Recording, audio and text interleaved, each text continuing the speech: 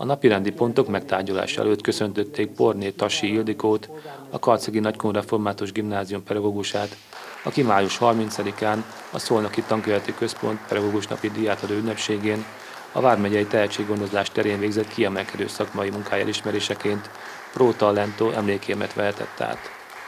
Ruszné Katona Éva, a Karcegi Nagykun Református Általános Iskola és Talentum óvoda pedagógusa június 7-én a Nagykunsági Református Egyházmegye közgyűlésén kiemelkedő szakmai és hitéleti tevékenység elismeréseként Nagykunsági pedagógiai díj kitüntetésben részesült.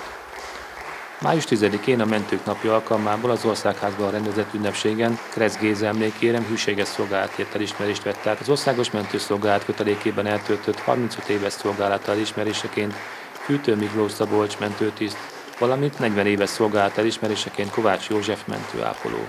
Június 6-án a Mentők Napja alkalmával a Szolnoki Vármegye házán rendezett ünnepségen kimagasló szakmai tudása és tevékenysége elismeréseként dr. Csató Gábor, az Országos Mentőszolgálat főigazgatója Csiger Imre részére kiemelt mentőtiszt, Hérmán Sándor részére kiemelt mentőtechnikus címet adományozott. Dr. Kolcsmáros Ferenc az Országos Mentőszolgálat Észak-Alföldi Regionális Mentőszervezetének regionális igazgatója, a Vármegyei ügyeleti rendszer kialakításához nyújtott támogatásért elismerő oklevében részesítette a Karcagi Kátai Gábor kórházat. A Tatai Patara Törökkori Történelmi Fesztivál keretében május 24-én megszervezett török méz és gránátalma országos diákvetélkedőn a Szent Anna és Sámuel Református Gimnázium, Technikum és Kollégium csapata második helyezést ért el.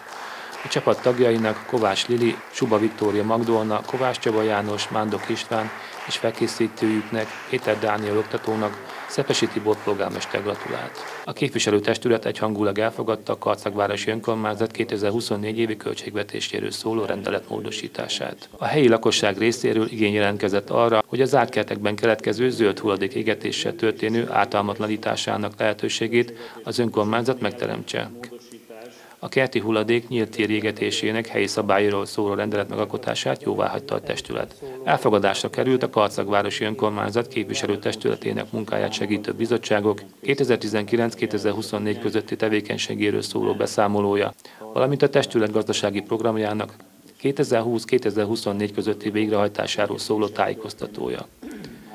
A Karcagi Hivatásos Tűzoltó Parancsnokság 2023 évi tűzvédelmi tevékenységéről, a képviselőtestület által alapított alapítványok és közalapítványok munkájáról, valamint a TRV ZRT víziközműveket érintő 2023 évi Karcag városban végzett tevékenységéről szóló beszámolók is jóvágyásra kerültek. A testület egyhangulag támogatta a lakossági víz és csatornaszolgáltatás támogatására kiírt pályázaton való részvételt. Az önkormányzat tulajdonát képező Karcag Ohio tér két szám alatti helyiség bérbeadásáról is döntés született, amelyben egy zöldséggyümölcs vegyes kereskedés kerül majd kialakításra. A képviselő testület legközelebb munkaterv szerint augusztus 29-én csütörtökön 15 órai kezdett el a tűrést.